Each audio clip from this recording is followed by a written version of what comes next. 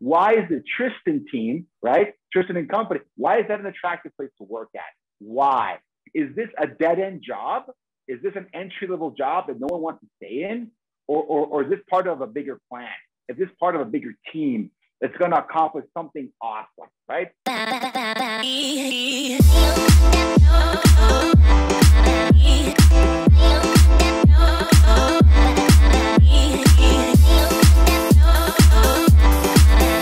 Gus, you're in Mexico today. What part of Mexico? Uh, Michoacan State, so outside of Mexico City, outside of the mega, megalopolis that is Mexico City. So a couple hours towards the nice. beach. Dude, that's that's heading towards Ixtapa Resort. Have you ever I heard like of it? That. Ixtapa, uh, north of Acapulco. So I'll go up the highway from Acapulco, you're gonna hit Ixtapa. Then, then a couple hours inland, like three hours inland, you hit me. Like, hey, how's it going? How far are you from Guadalajara? About four hours south of Guadalajara. Yeah. So about oh, right. It kind of it's that in that part of the country where it's kind of hard to tell you where it's like between Mexico City and Guadalajara, in the like between both of those. I'm right in between both of those. I like that. I like that. Well, uh, besides geography, we're going to be talking about ISAs. So. exactly. Exactly. there you go. Today, the specific title that that Gus and I just came up with and reduced well, was how to recruit an experienced ISA. And I have to get some water, Gus, because I'm going to choke to death. But Gus, tell us yeah. about hiring an experienced ISA. Absolutely, absolutely. So, you know, folks, uh, uh, thanks for jumping in uh, for this webinar today.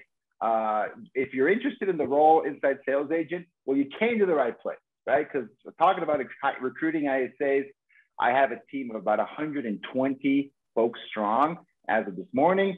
Uh, you know, maybe there'll be more by the end of the day. I don't know, right? We recruit every day. Uh, and we've hired, we hire folks every single day, every single week. We have training classes. So we talked to a lot of candidates who are in the industry. I talk to, we have clients all over the US and Canada. So we go through this process a lot. Uh, so you came to the right place.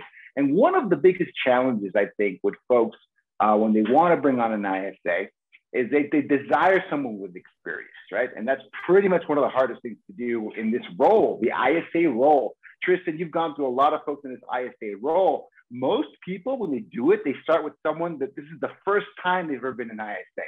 That is, I'd say 90% of the time, you're introducing someone maybe to real estate, but at least into the ISA role. Would you say that's a pretty common thing, Tristan?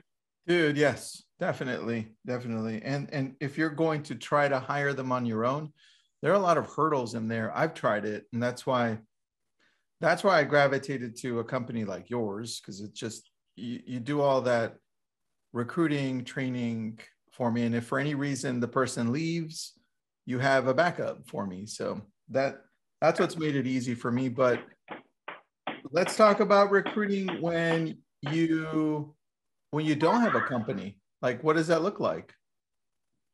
Oh yeah, absolutely. So I mean, when you've got a company, when you've got people coming, you know, when you have a team, you've got buyers, agents, assistants.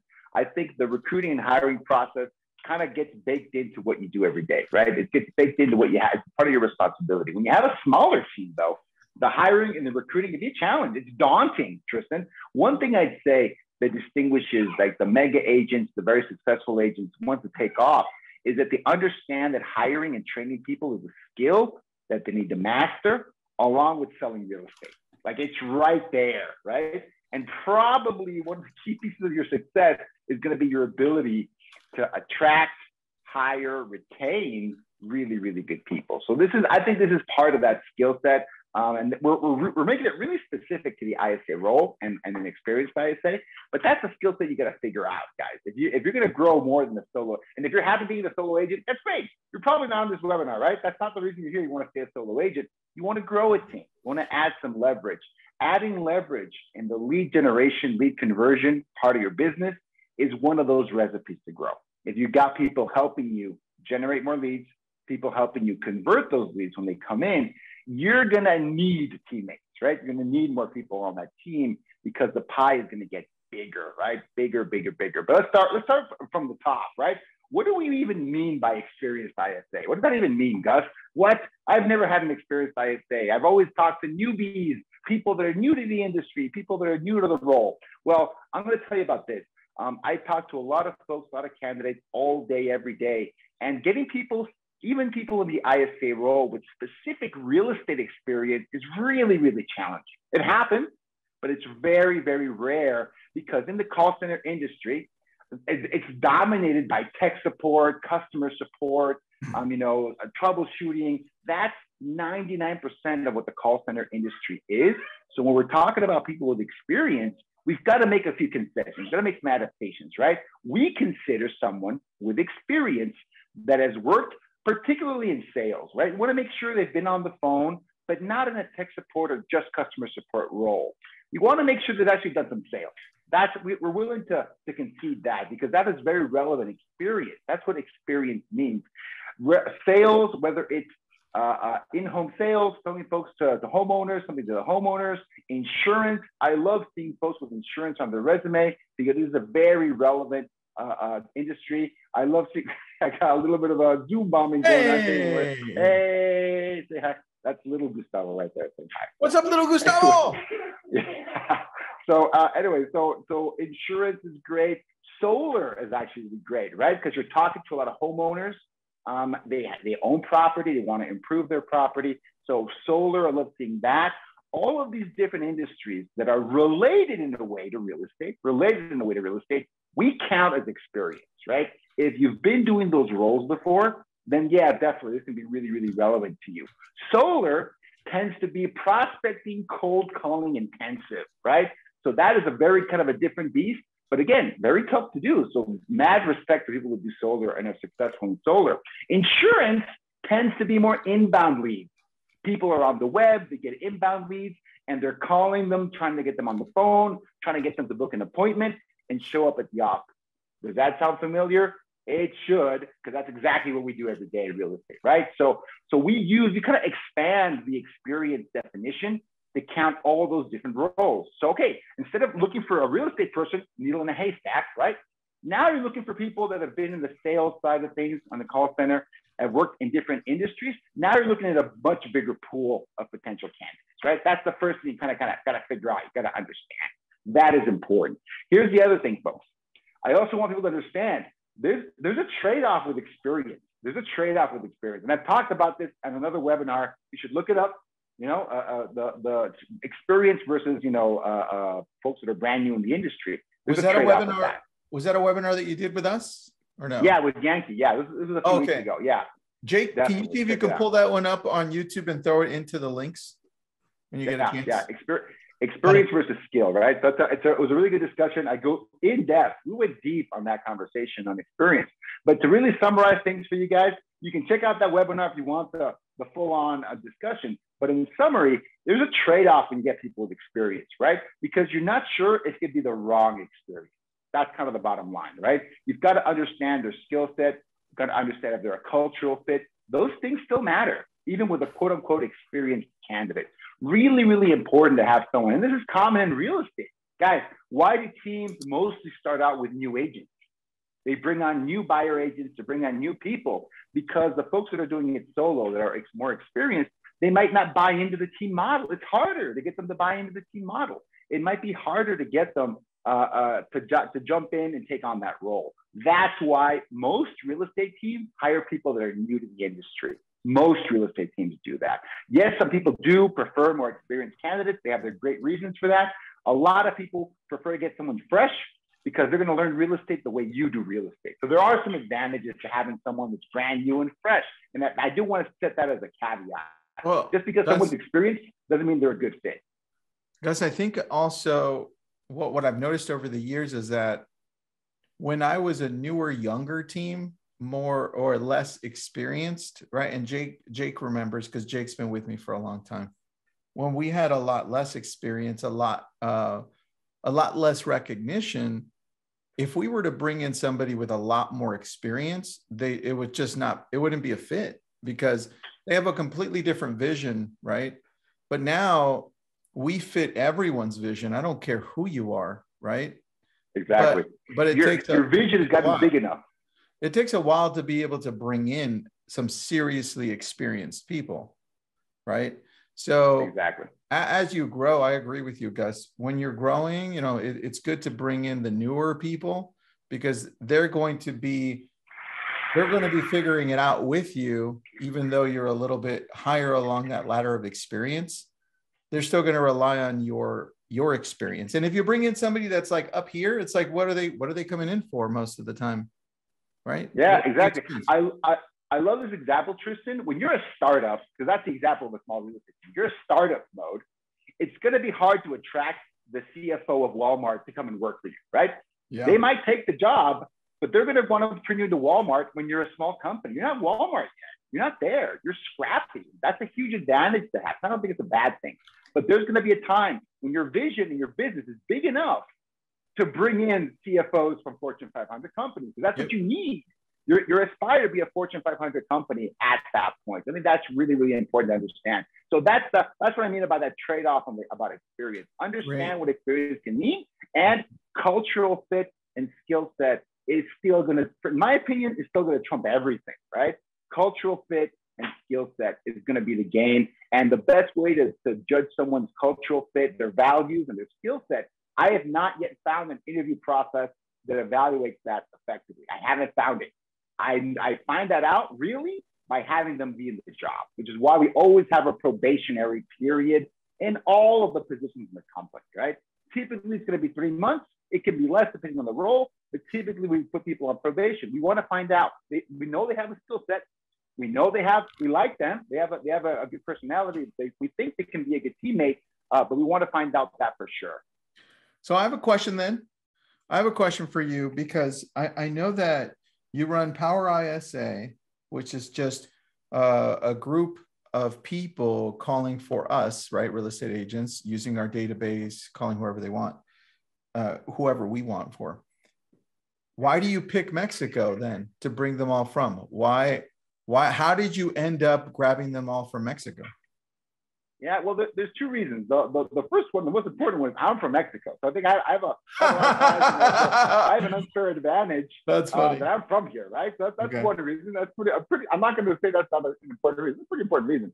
Uh, the second one is that uh, candidates from Mexico have a lot of advantages. They're on the same time zone as folks uh, uh, in the U.S. We cover basically from Pacific over to Eastern. We have those time zones in Mexico, right, throughout the year. Even Mountain Time. I discovered this by we're doing this job. We have Mountain Time time zone. You're muted. You got yeah, muted. The, there it is. There it is. Oh, did I? Oh. Can you hear me now?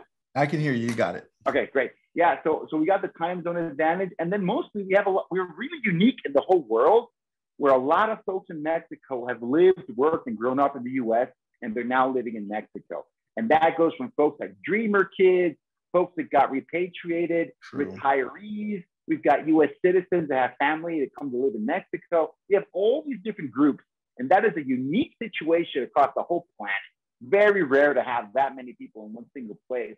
Um, where you have a true bicultural set of folks, right? They're, they move within the, the Mexican and the Spanish language culture as easily as they do in the US and the, and the English language culture. It's really rare to have that. And I've never seen a higher concentration of folks like that than in Mexico. Maybe Canada, but that, that's kind of unfair. They also speak English in Canada. It's kind of weird, right? The bi- truly bicultural piece I've seen in Mexico is pretty unique. All right. I, I agree with you because our ISA with you that we use from Power ISA is from Mexico. And when we first started working together three years ago, or a little, it was about three years ago ish. Yep. Roughly, so roughly. I was looking specifically for one of my agents, and Jake, who's in the background, who makes everything happen. Thanks, Jake. He he knows that uh, Luis, who who this ISA is for, is very particular, right? Luis, tough customer good, good agent, tough customer. yeah, he's a very he's an amazing agent, but he's very particular. And he's also one of our one of our best agents. He closes a lot of multi-million dollar deals. And I'm gonna mute you really quick so I can tell the story. But he he covers Malibu, he covers Calabasas, Beverly Hills, Pacific Palisades, all high end.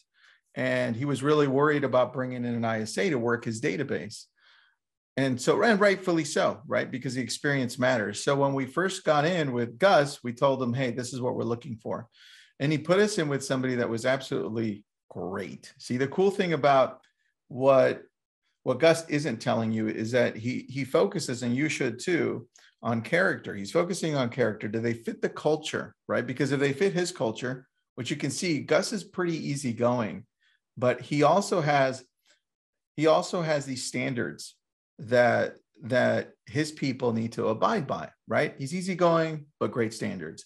And that happens to cross over to the people that that in this case he's working with me. He's working with our team. And so when we hired this guy he not only would follow up correctly he he knew what to say. The training matters right? Like luis feels so comfortable working with with at the time it was carlos gustavo but i know we just switched but he felt so incredibly comfortable knowing that carlos was the one reaching out right? Because he understood the culture we're in.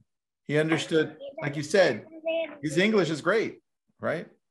So yeah, that to absolutely. us was really, really important for us. And yeah, I, I think it is, and I, and I appreciate the, the kind words there, Tristan. Yeah, I, I think it's really important, right? You know, uh, a cultural fit, a personality fit, and also this is really important. We have to fit the right person to the right campaign. You cannot put a cold calling kind of hard nosed profile with an agent like Luis, right? Like that, that's just not the profile. That's not the project they're trying to do, right? That's not the level of service he's providing, not the lead source we're calling. So it's I mean, matching all those things. Um, it's, it's not easy, but that's where you get those really great results, right? When you've got the right person, right campaign, uh, uh, you, you match that skill set, uh, then then like the magic happens 100%. So yeah, 100%. So so so get it, getting back to it. So okay, uh, experience I say that's great, that's awesome. Well, another thing, this is another caveat, right? I, I mentioned the trade-off caveat. That's one. Here's another caveat because I get this question a lot. Gus, I need an experienced ISA because I don't have any time to train them. That's why I need an experienced ISA. And I and I go, okay, red flag. A couple of red flags are already happening, right? So even if when we've got someone, you know, uh, working with Power ISA, Power ISA recruited them, trained them, got them ready, they have not worked with Luis. They have not worked with Tristan yet. They need to understand how Tristan works. They need to understand how Luis works because, yeah, you, you don't work like every other agent out there, right? You've developed a process, a system that that ISA is going to plug into. So to, to, even if you're getting someone, you know, that's been with Power ISA for five years, the, the thought of, oh, I don't want to train them, I don't have time to train them. Someone has to show them what the Tristan process is. And we're not that person, right? So I always tell folks, uh, uh don't let experience be like a, like a, a, a proxy for I don't need to train this person at all. That's not true, actually, right? That that can be tricky, and don't fall into that trap. The amount of time, yes, you're going to dedicate time to someone, especially at the beginning, the first couple of weeks, but that time is worth ten thousand dollars an hour to you. You're investing in that time to get the right person to understand to do things the right way, uh, to really leverage your business and grow the business. That is time invested in growing your business. You're working on the business. You're not working in the business. Think it's unbelievably important to understand that. So that so all those things being said, what experience means, what it doesn't mean. Okay, that's hopefully gotten the, the, the definitions and the important points out of the way. Well, okay, Gus, awesome. How can we find uh, those those experienced ISAs? Number one thing, the number one thing you have to talk about is you have to have a compelling offer. So it has to be a really relevant, really important, really attractive offer for them to join your team. Because guess what? Experienced ISAs are employed. They are talent. They're working somewhere. You essentially have to steal them away from another company, another industry, and attract them into real estate and into your team. You have to craft an attractive offer. And it has to include salary. It has to have bonuses on top of that. You have to include little perks like paid time off. You all, there's all these things you can stack up on that offer but I really get concerned when I see people try to trying to recruit ISAs uh, and they want them to be commission only, like like typical real estate salespeople. That's normal, right? That's normal for our industry. It's not normal for the ISA role. Typically, ISA role is a salaried position. So understand that your offer matters, right? And so, so definitely put that, take that into consideration because if you want an experienced ISA, you got to bring them over uh, from another job to be interested in your position. And that's really, really key. Dude, that's that's it. I think the the challenge is though, how do we create the value, right? Or how do we how do we accelerate the value? And I don't know that a lot of people have have the time to be able to focus on that value to attract the right ISAs, right? Absolutely, absolutely, yeah. And I see folks uh, uh, struggle with that. I had a client that was in my in my coaching program, kind of struggling with this. They actually got to work with me because they're saying, "Hey, Gus, nobody wants to work. Uh, you know, people come in and they leave. You know, it's like he's really frustrated with the with the with the hiring and training process." And for me, that's like, okay, there's a value problem here now, right? This is because they were doing the they were attracting a bunch of people. They had solid systems for them to plug into, but the value as a team, the whole the whole thing wasn't there, right? And for me, that's a red flag. People don't want to work. Hmm, in my experience, that's not true, right? Some people want to work, but they might not want to work for you, right? So that's a little bit of a different. It's a difficult question to ask, but you should ask that question and always be curious. I approach these things, Tristan, with curiosity. If I'm if I'm having an issue attracting talented people to my team, the the offer's not great. The value proposition is not there. You're going to strengthen that. Let me give you a few really, really important examples. When, when you've got people attracting them to your team as an ISA for, for that ISA role, make sure your salary is competitive. And I have another video where we talk about this you know, a little bit more in depth about hiring. Maybe Jake can link to that video, the hiring the ISA uh, video that we've done for LCA. I go in depth into that. You've got to be, you don't have to be, you don't have to pay the most. You don't have to pay the most. I don't pay the most but you have to be competitive. You have to know what the high end is for your range, what the low end is for your range, and put yourself comfortably in the middle so you have a little bit of wiggle room in, in either direction, right? You gotta be you gotta be competitive for the marketplace, understand what your marketplace is offering.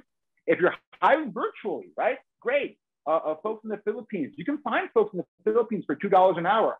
Definitely, you can. Understand that's the low end of the market, right? because other folks in the Philippines are going to charge four, five, six, seven, eight dollars an hour. Okay, that's the high end of the market. Where do you want to be, right? That's another thing that's important. So every market's a little bit different. You've got to have at least a competitive compensation, competitive compensation, because all those, all things being equal, then they go, okay, well, who's Tristan then? He's got this offer, looks interesting to me, attractive to me, looks competitive. Okay, well, then what does Tristan bring to the table? And that's where you really, that's where the intangible comes in. You've got to sell them on the vision of this team.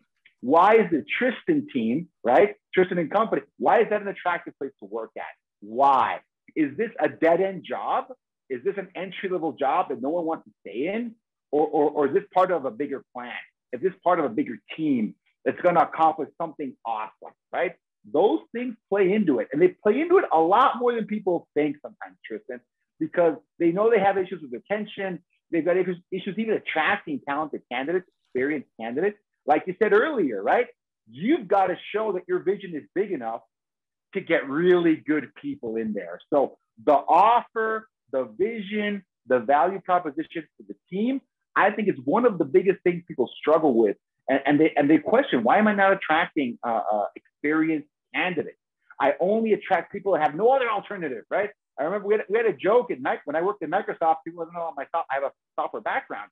We would joke sometimes that you know, hey, why'd you end up working at Microsoft? Because Pizza Hut wouldn't take me, right? That was a joke the, the vice presidents would throw out there, and they go, well, the the the the the, point is. Sometimes, you know, we joke this is the worst place to work because even the, the, the, the worst, you know, uh, uh, uh entry level position wouldn't take you, right?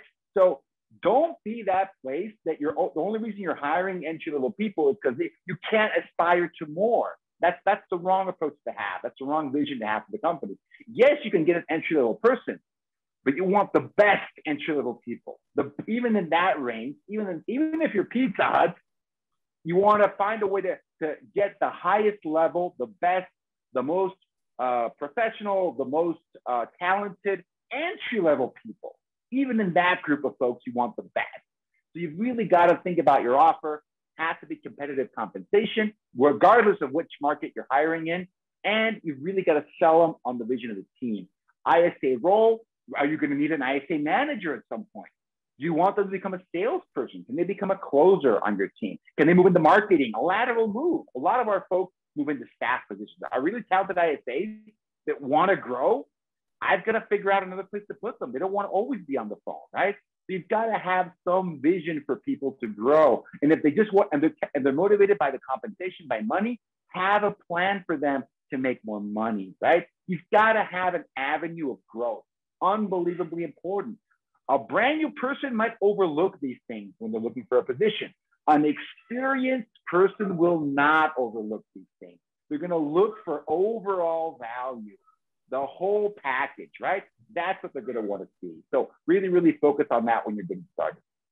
All right. So then once that's in place, how do we continue to be able to cater to the experienced ISAs? Like what is the what does the training look like to keep them growing?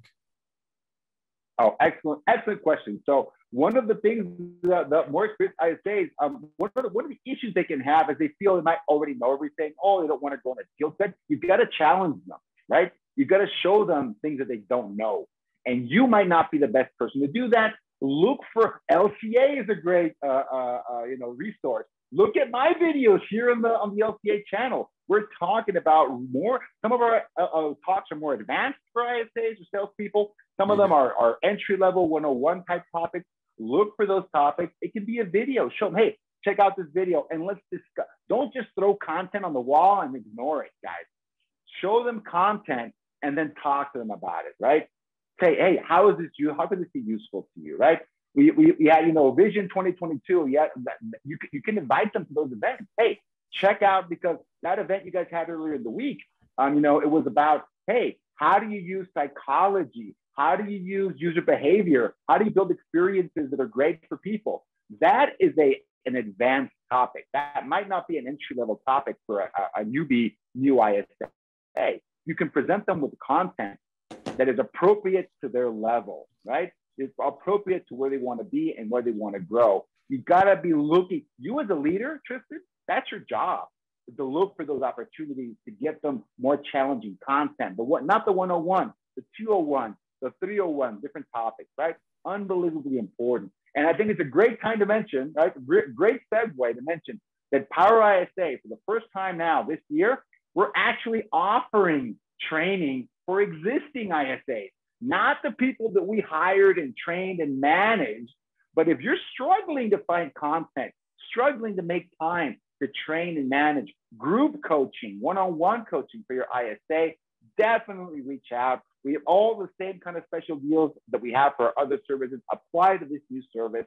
Check out the link that goes our landing page below. Uh, check it out. But if you have an ISA on your team, you're struggling to keep them challenged, to keep them updated, to keep them up to date, and just make sure that, that someone is giving them the right direction, check us out. Check out the offerings that we have. We are another option out there to keep your ISA trained and challenged because the experienced person, they want to be challenged. That's true. That's true. You know, I heard a I heard a quote today, and then I put it on my Instagram, which you may have already seen it or not. Um, and it was your comfort will betray you. And and the more I thought of it, I'm like, damn, that was that was, and I heard it in passing in a in a in an interview like this. And the more I thought about that, it's like we get so comfortable doing the things that we normally do, and then we don't grow. And then we we're like, why am I not growing? Right and that's because we get super comfortable and this is where this is where this is why i love this because if i had an isa group of people that i could put into it because i hired mine through you so it's different right i don't have mine in house we outsource it because i don't want the headache but i know some of you love that headache and and this is why it's cool to have both of these things right the training from you for those that have the isas and also the ISAs. And so, whichever route you take, just uh, make sure you use Power ISA, man. So, I love doing these with you, Gus. Yeah, I appreciate that, man. I appreciate that. And you know that that is you know one one of the biggest obstacles is just kind of understanding that's your role as the leader, right? Providing those opportunities, uh, you know, making sure you're providing that that those chances to really level up, right? The next thing I want to talk about, Tristan, okay, great. You got that offer, you got that value prop, you understand the challenge of attracting, retaining uh, uh, experienced people. Okay, well, okay, great, Gus. I got it, understood. My value prop is I've leveled it up. My offer, I've leveled it up. Okay, well, then not, now what, right? Where, where can you find some of these experienced, quote unquote, experienced folks? Then, okay, great. I love that topic because that's a really, really common question I get as well. Um, they, they, you can find them, they're all over the place once you know where to look. But one of the main places to look people overlook is Facebook. Folks, there are, so believe me not, there are Facebook groups full of folks working in call centers, former call center employees. That is the pool of talent we love to tap into. Facebook groups, call center workers, former call center workers, people working in sales, people working in telemarketing. Folks, these groups are everywhere. They're in every country. Obviously, countries like Philippines, like Mexico, that have a massive call center industries are going to have more of these groups, bigger these groups. That's, that's true. But you can also find them in the US as well, right? So definitely that is a great resource. A lot of them welcome people posting job opportunities in some of those groups. Some of them have some rules around that. Just figure it out, be compliant, understand the rules, um, and you're going to do great. Some of these groups are specifically for job opportunities, right? I'm talking about Philippines and Mexico. They have entire 10,000 person groups that you're supposed to drop job opportunities in there for folks to contact you. Those are great ways to find it. That's number one. Number two, folks, good old, you know, ZipRecruiter, Indeed.com, those work, right? Those and they work for a reason. A lot of folks that are more uh, uh experienced, that's where they look for new opportunities. They want to work for a more established company, and they kind of perceive Indeed.com, especially Indeed. Indeed is huge all over the world. Um, they perceive Indeed as being a place to find more formal employment, more serious entrepreneurs, right? That's where you look at that. So that's a great resource to find uh, experienced candidates. It there has a cost, right? It costs obviously it costs more than going into a Facebook group. Uh, but again, just depends how many folks you need to hire and what level of candidate you're looking. The Indeed candidate is going to send you a full-on resume. Like that, that they even have to upload that to get on the site. So you're going to have a little bit of a different experience. Yes, it costs more, but guess what? You have to invest to get a really good person on your team, right? That's another rich resource. Another one that you can use, another one you can use is Facebook ads, folks, right? Facebook ads. The way they work for real estate, well, guess what? They can work for folks that are looking for new opportunities, right? You can just publish. And again, this also falls the same as real estate. It falls under the special ads category. Google it, figure that out. It's pretty straightforward. Uh, you can publish an opportunity. Hey, I'm looking for someone for my real estate team, inside sales agent, telemarketing experience preferred, right? Put it out there. Looking for people that are experienced that have done call center work in sales, telemarketing, telesales, telephone-based sales. You want people with that experience. That is an automatic filter, folks. You can put it in there. I want someone that's done this one to two years, one to three years. It really it's hard to find people with more than that. So I would say the, the probably three years is enough. Uh, one to three years of previous experience selling over the phone. Unbelievably important. Another term people use is appointment setter. Appointment setting experience for previous. Yes, question. Rebecca's oh, got a great it. question for you. Uh, yeah. Do your ISAs at Power ISA work with KV Core, the CRM? Oh, really, really good question. So our ISAs are trained on using real estate CRM. We don't use KV Core in our training sessions. We mostly use Follow Up Boss and Chime, but we try to teach them in an agnostic way, teach them how saved searches work, how tagging and assignments work. So, and that most of those skills are transferable basically to any CRM. So they have the basics down, but yes, when someone you get someone from our team or even someone else, someone hire on your own, you do have to show them the ins and outs of your CRM. Even if you're using Follow Up Boss or Chime, I don't know if you've seen that some, somebody else's, you know, Follow Up Boss and Chime installation. It can be different, guys. Some people, amazingly, don't use tags at all in Follow Up Boss. I don't know how they do it. They don't use tags. They just use statuses, custom field and a status, and they're done, right? That's it, right? So how you've implemented Up Boss can be different from somebody else. So there's a training that has to happen the first 30 days on getting them used to how you use that CRM. So the folks at Power ISA do not come like pre-installed with the KV Core training, uh, but they come trained on CRM and how to use a CRM. They are going to need uh, a walkthrough of how you use your CRM. Hopefully that, that answers the question. It does, man. I think one thing that I have a question on is let's say they aren't experienced with KV Core.